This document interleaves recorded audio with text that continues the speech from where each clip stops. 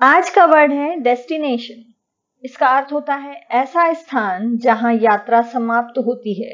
लक्ष्य, भाग्य, नियत या गंतव्य।